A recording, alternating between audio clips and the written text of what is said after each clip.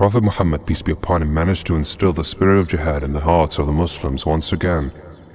They had been filled with fear and panic, but they regrouped and launched a united attack on the pagans. Victory was on their side by the permission of Allah and they defeated Hawazin and Thaqif before heading towards Al-Ta'if, where they laid siege. I see Malik safe and secure within his walls. We must consider our options. What do you suggest? I suggest we take advantage of the darkness. I have scouted the walls, and there are many weak spots. To the southeast, the land is tortuous and the archers are spread out. If we bring ropes and hooks, we can climb the wall easily under the cover of darkness. I was with the Messenger of Allah when he heard what you were thinking. So he said, Do not climb the wall. The archers of Thaqif never miss their mark, and he does not want any bloodshed for men and horses alike. We are at the command of the Messenger of Allah, Aba al-Fadl. He knows better than us what to do. And Salman al-Farisi had another plan that they acted upon, which is throwing stones at the wall using catapults, so that the wall would be destroyed and they could enter Al-Ta'if. But after a few days, they lifted the siege and left. Malik son of Auf was among those who joined the Prophet Muhammad, peace be upon him, declaring his Islam. Khalid son of al-Walid continued to fight alongside the Prophet Muhammad, peace be upon him, in his difficult and easy battles and expeditions. After the Battle of Tabuk, the Prophet Muhammad, peace be upon him, ordered Khalid to go to Yemen and call all the villages and cities on his way to Islam. If they obeyed and accepted Islam or paid the jizya, they would be safe, otherwise they would be fought. ادع إلى سبيل ربك بالحكمة والموعظة الحسنة وجادلهم بالتي هي أحسن إن ربك هو أعلم بمن ضل عن سبيله وهو أعلم بالمهتدين. وإن عاقبتم فعاقبوا بمثل ما عوقبتم به ولئن صبرتم لهو خير للصابرين. واصبر وما صبرك إلا بالله. ولا تحزن عليهم ولا تك في ضيق مما يمكرون. إن الله مع الذين اتقوا والذين هم محسنون. What news do you have, O Yazid? My men tell me that Khalid, son of Walid, has entered the city, accompanied by a significant number of soldiers. He has set up camp on the outskirts of Najran. And did your men make sure that he is Khalid? He is their leader. Go with a delegation of tribal elders to welcome him. Give him a warm welcome. Commander, how will you go to them alone? I'm not alone, Arfata. Allah is with me. But, sir, this is an unfamiliar place, and we don't know these people. What if they betray you? If I go alone and they answer, I'm sure they did not answer out of fear. But if you come with me, how do I know they answered out of fear? No, Arfata, I will go alone. Khalid, son of Al Walid, welcome to Najran. And welcome to you. I have come to you from the Messenger of Allah, Muhammad son of Abdullah. I invite you to Islam, the religion of Allah, the Lord of the heavens and the earth, with no partner. What do you say? The real opinions are the ones of elites, not the public. The head leads the body. So why don't you go to the head, O preacher? Who is your head?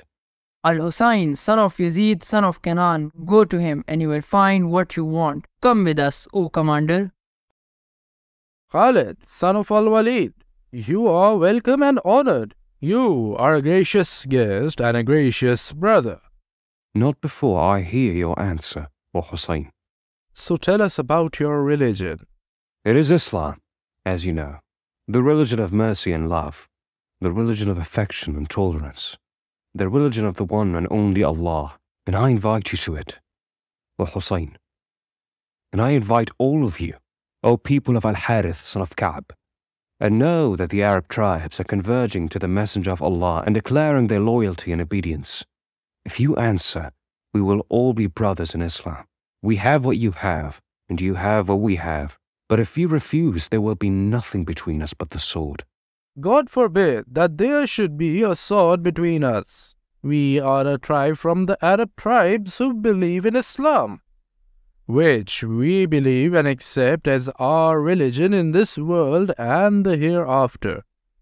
Khalid, son of Al Walid, I am delighted to meet you, and your reputation has filled the horizons.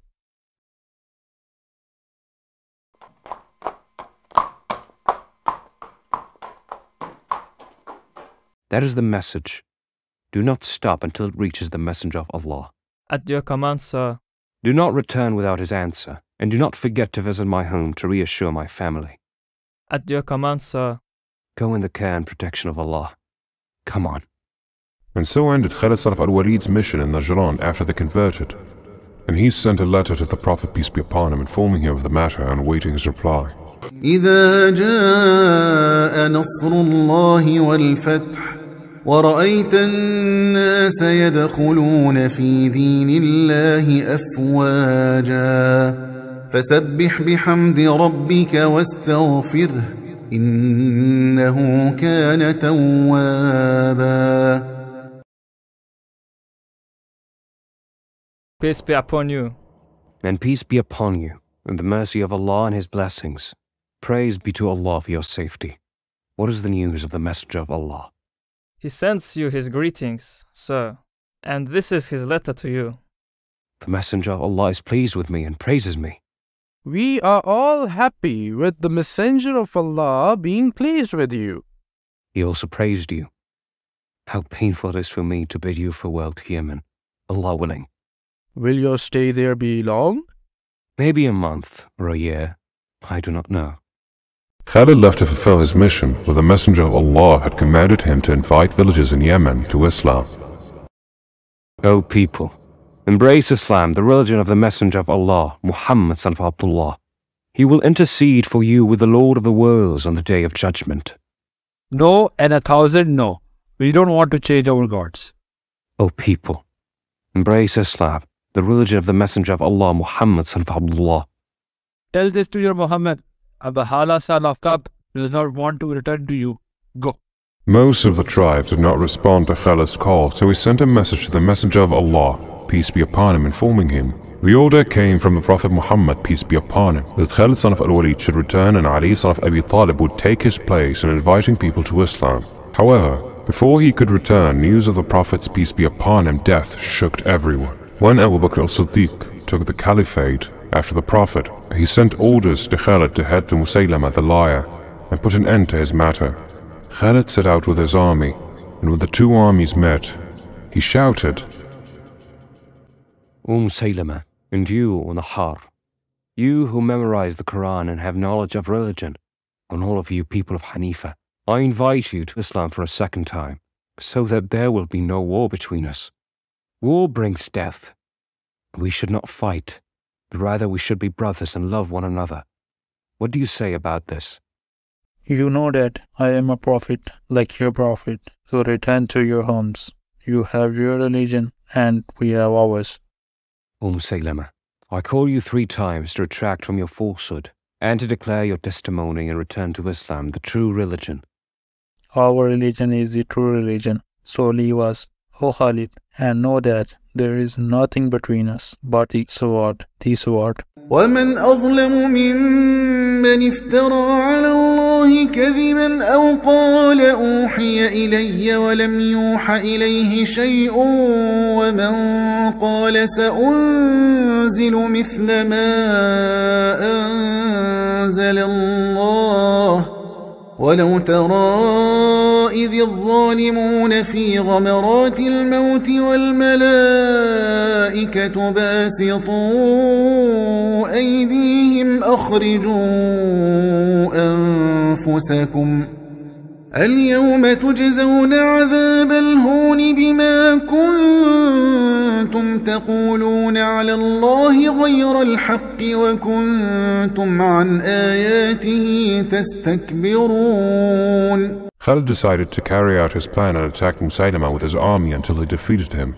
Despite all the difficulties and the loss of many martyrs, As soon as Khalid had finished fighting the apostates and the false prophet, he received a letter from the Caliphate inviting him to come to Medina. Peace be upon the successor of the Messenger of Allah. May Allah's peace and blessings be upon him and his companions. And upon you be peace, mercy, and blessings of Allah. Sit down, Khalid. The successor has summoned me. Do you have any other complaints? No, Khalid. Rather, I have a new mission for you. I am at your service, with the permission of Allah Almighty. By the permission of Allah, the successor of the Messenger of Allah, may Allah's peace and blessings be upon him, says, Now that we have eliminated apostasy and the whole peninsula has accepted Islam, we must move towards the Arabs of Iraq and Levant. We shall move with the permission of Allah. There are Arabs in Iraq and Levant who are under the rule of Persia and Byzantium, and we must liberate them from the enslavement of foreign rule, and all of us will become stronger, and the lands of Islam will expand, and its glory will increase. By Allah, this is what I was thinking.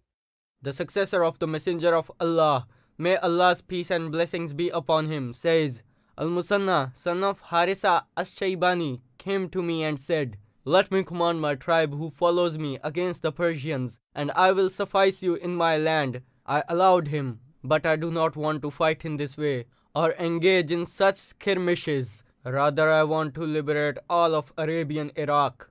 This can only be achieved by pushing the Persians back beyond Dijla River, and you know what the Persians are and what their strength is. Yes, I know. Your first goal should be Al Hira and everything west of the Dijla River in the lands of the Arabs who suffer from the oppression of the Persians and the tyranny of their rulers. We will liberate them and they will join us in the religion of Islam. Go, Khalid, and prepare your army so that there are no apostates and allow those who want to return to do so. Do not force people to join the army but let them choose. Whoever wants to stay can stay and whoever wants to leave can leave. This is the letter of the successor of the Messenger of Allah. May Allah's peace and blessings be upon him, appointing you to command over Iraq. Whoever joins you in fighting the Persians will become part of your army, and you are the leader and the prince. At his command. The defeat of the Persians is in your hands. Do not return except with victory.